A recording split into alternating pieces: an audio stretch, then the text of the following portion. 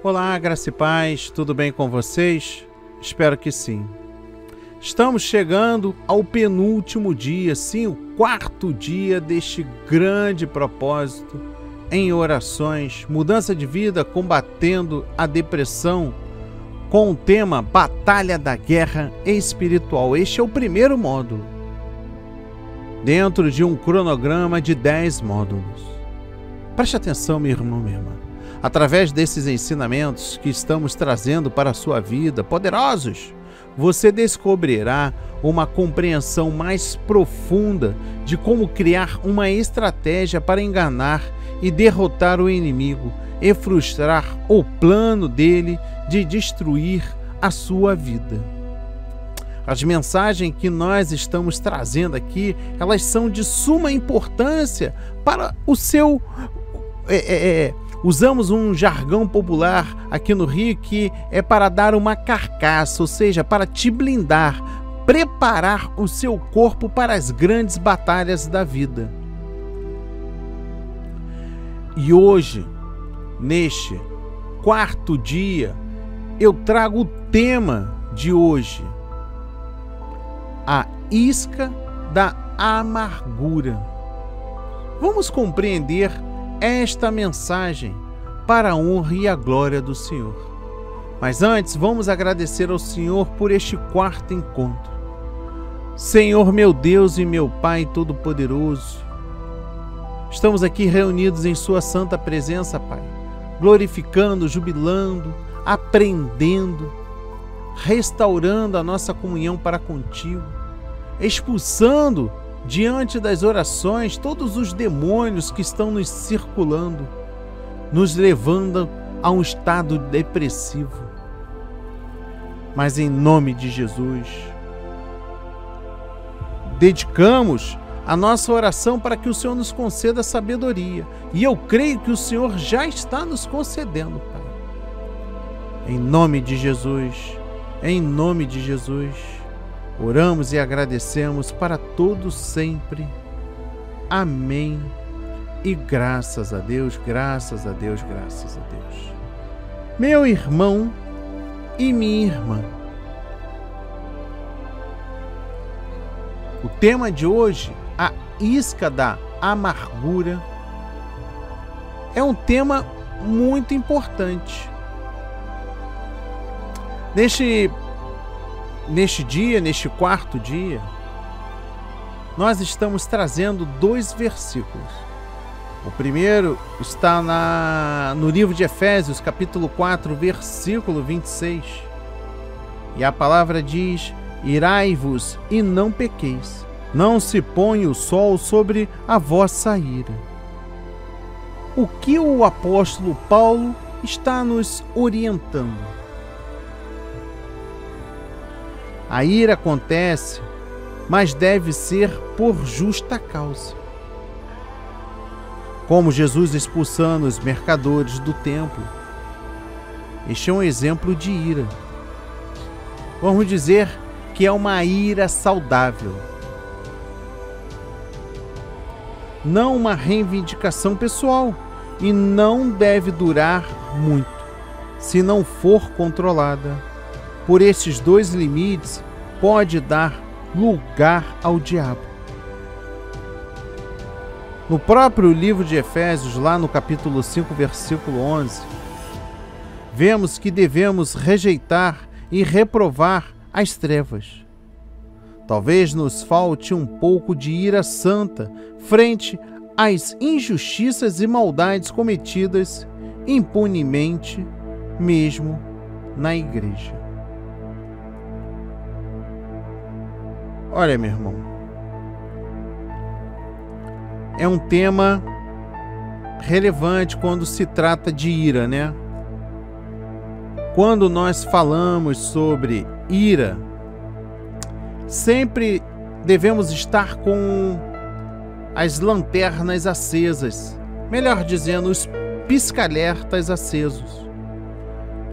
Por que você está falando isso, meu irmão? Porque no caso de Jesus, a ira que Jesus teve naquele momento sobre os comerciantes ali próximo ao templo foi que estavam prostituindo a casa de Deus, a casa de oração. E de verdade isso não agradou a Deus. Isso o deixou muito irado, vamos dizer assim, né? Melhor entender. Mas ele teve um momento de ira dele, que ele saiu derrubando aquilo tudo ali naquele momento. Olha, a ira, de um modo geral, é um sentimento que surge em nós quando somos confrontados pela injustiça. Injustiça contra nós, injustiça contra os humildes, os desprovidos de defesa. Quando ela explode lá dentro, vem com toda a força e tem a tendência de controlar todas as outras emoções. A ira, no seu nível mais intenso, perde senso de equilíbrio e nos aconselha a vingança, a fazer justiça com as próprias mãos. Como eu disse, a ira, ela não sendo domada, ela passa a ser um peso, um peso perigoso em nossas vidas. Paulo reconhece que, como seres humanos, não somos isentos de ira. No mínimo porque o mundo que nos cerca é ruim, é pecaminoso. Uma verdade. Ele abre os nossos olhos fechados pela ira, alertando-nos quanto a cair em pecado por sermos prisioneiros deste sentimento vulcânico. Por isso, meu irmão, minha irmã, ele dá uma receita Jogue tantos baldes de água fria sobre a sua ira, até que ela se apazigue e fique sob controle. Mas, para conseguir fazer isso, é essencial que aceitemos aquilo que o Senhor afirma. Minha é a vingança, diz o Senhor. Ele disse: a ira do homem não cumpre a justiça de Deus. Complementando o nosso racional, a nossa meditação, a nossa reflexão, a nossa capacitação. No livro de Efésios, capítulo 4, versículos 30 a 32, a palavra diz: E não entristeçais o Espírito de Deus, no qual fostes selados para o dia da redenção. Longe de vós toda a amargura, e cólera, e ira, e gritaria, e blasfêmia e bem assim toda malícia.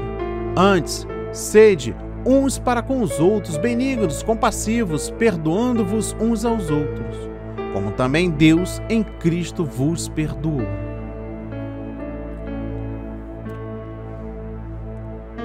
Perdão, malícia, blasfêmia, gritaria, amargura, todos os sentimentos doados pelo mundo. o mundo doa isso daí. O mundo ele nos oferece tudo rápido. Se você está necessitando de dinheiro, ele vai ter ele vai ter uma oportunidade ímpar para te oferecer o dinheiro. Olha, Deus me perdoe, mas vou trazer algo aqui. Já teve anúncio de um celular de uma marca X famosa que um cidadão, um cidadão não, este ser de, de, de, de, de, de trevas ofereceu esse aparelho top de linha por uma noite de sexo. Usou as suas redes sociais para divulgação.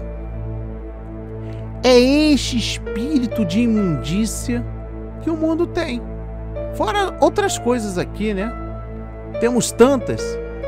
É padrasto que tira a vida do enteado. A mãe está sabendo e deixa, deixa fazer o que quer.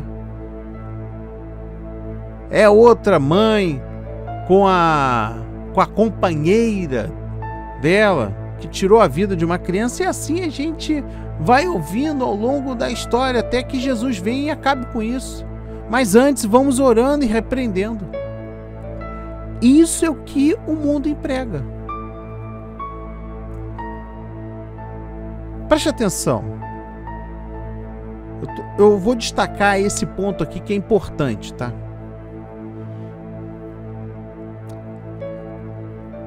Não entristeçais o Espírito de Deus, o Espírito Santo.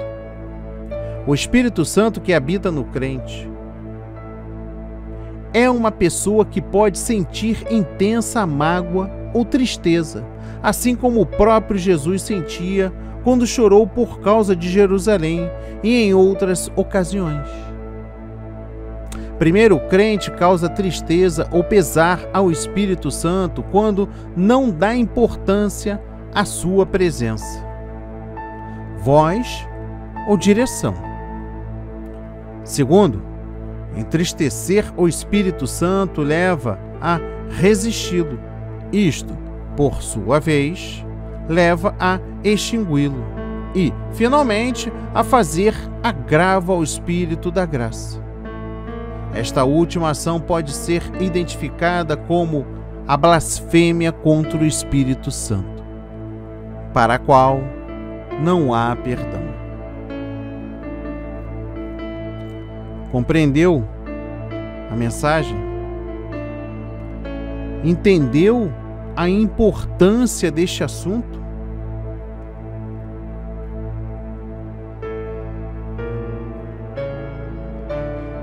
Olha, deixa eu lhe explicar algo importante. O que a Bíblia nos alerta com a palavra amargura? É um espírito que não aceita reconciliação, que guarda ressentimento. Ira é uma indignação que deixa o coração como um forno, aceso e quente.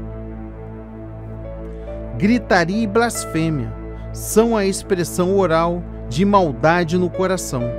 Quando feitas com malícia, são ainda piores, pois são ofensas deliberadamente destrutivas. Paulo cria um contraste em tudo isso e o que é positivo.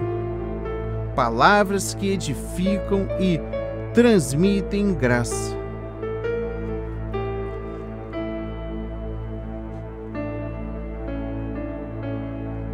Beniguidade, compaixão, perdão, amor, sacrifício em favor do outro, ação de graça.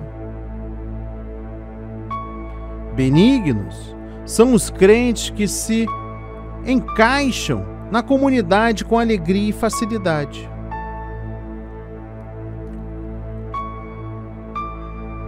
A linda ilha no meio deste mar de proibições está dentro deste contexto. Acabei de citar.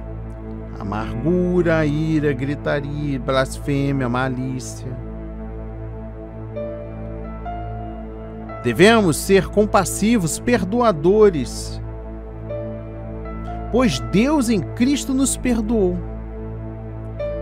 É nesse sentido que devemos imitá-lo, no perdão e no amor. Se somos filhos amados, devemos amar os outros. Jesus pagou a oferta máxima da sua vida em nosso favor. Assim nós devemos viver sem medir nosso sacrifício pelos outros. Olha, a falta de perdão a amargura, o ressentimento ou a ofensa de qualquer tipo podem nos tornar incapazes de ouvir a Deus. A palavra de Deus é muito clara quanto a isso. Se quisermos que Deus perdoe os nossos pecados e ofensas contra Ele, precisamos perdoar aos outros os seus pecados e ofensas contra nós. Simples assim. Não há mágica. Não há propósito de recursos financeiros em troca de orações para se libertar disso. Este segundo versículo que eu trouxe nos ensina que entristecemos o Espírito Santo quando abrigamos emoções negativas como a raiva, o ressentimento e a animosidade em nossos corações. Quando retemos a falta de perdão contra qualquer pessoa por qualquer motivo, isso endurece o nosso coração e nos impede de sermos sensíveis à direção de Deus para a nossa vida. Olha, certa vez ouvi na igreja que me aproximou de Deus alguém dizer que não perdoar é como tomar veneno e esperar que o seu inimigo morra. Porque passar seus dias ficando irado e amargo com alguém que provavelmente está aproveitando a vida e nem sequer se importa por você estar aborrecido, faça um favor a si mesmo. Perdoe aqueles que o magoam. Dê a si mesmo o presente do perdão Ele trará a paz ao seu coração e o capacitará a ouvir a voz de Deus e a seguir a sua direção para a sua vida. Agora, um, um ponto aqui importante dentro deste, deste contexto. O Espírito Santo ele pode ser entristecido.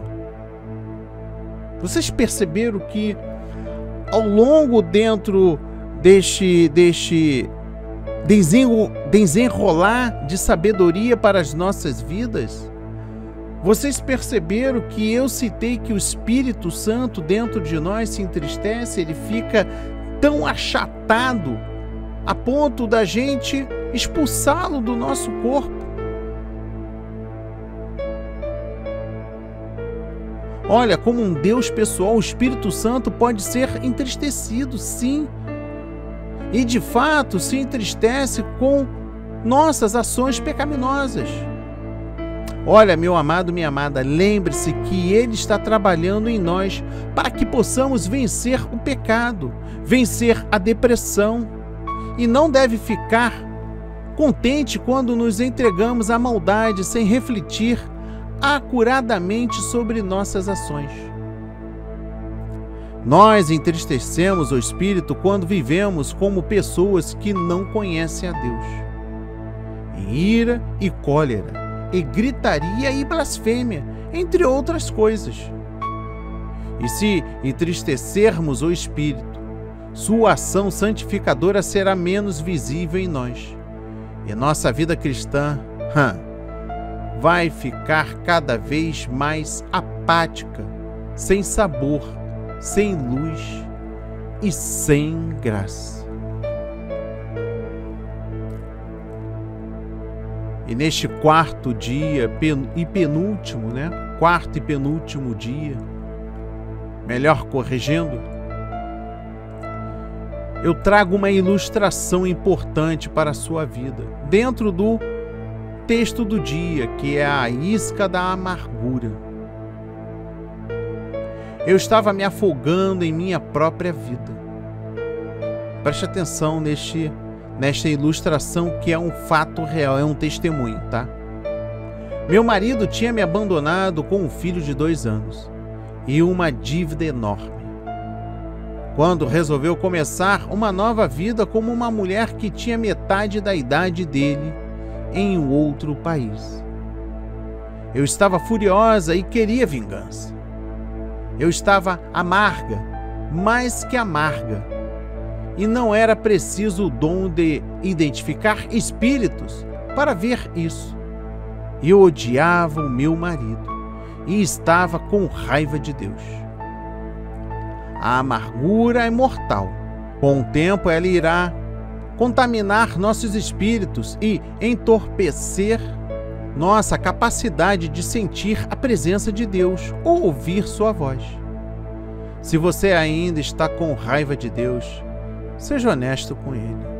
Dá-lhe a tua ira e Ele transformará essa ira em paz, numa revelação maior da Sua soberania, se os deixares.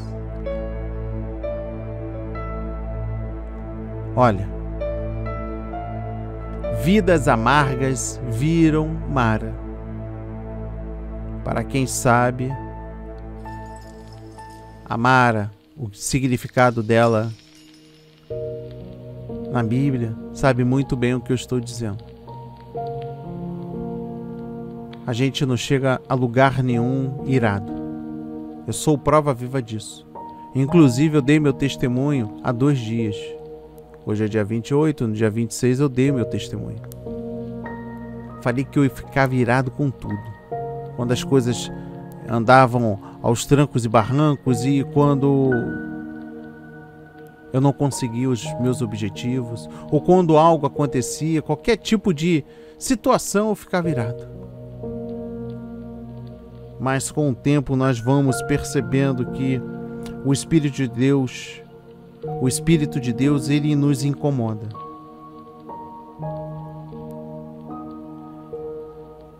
Nós vemos os valores nas nossas culturas, cultura esta, a dedicação a Deus. Nós vemos coisas aceitáveis e não aceitáveis e passamos a ter, quando largamos tudo isso que eu falei, ira, vingança, ressentimento, coisas negativistas a gente começa a ver a mão poderosa de Deus. A palavra de hoje foi semeada para a honra e a glória do Senhor. Feche os olhos, curva a sua cabeça, repete comigo a oração. Senhor meu Deus e meu Pai. Chegamos aqui ao quarto dia deste primeiro módulo, combatendo a depressão, mudança de vida, batalha da guerra espiritual. Senhor meu Deus e meu Pai, eu escolho perdoar aqueles que me feriram, que me ofenderam, que abusaram de mim, me usaram ou me prejudicaram. Ajude-me, Senhor, a reconhecer a estratégia do inimigo para me prender ao ressentimento, à amargura e à falta de perdão. Ajude-me a não usar os pecados das pessoas contra elas, assim como fazem comigo. Ensina-me a evitar responder com um coração de julgamento quando estou sofrendo, Pai. Cure minhas emoções e renove um espírito correto dentro de mim. Em nome de Jesus, oramos e agradecemos e enaltecemos para todos sempre. Amém. E graças a Deus, graças a Deus. Muito obrigado, meu Pai. Muito obrigado.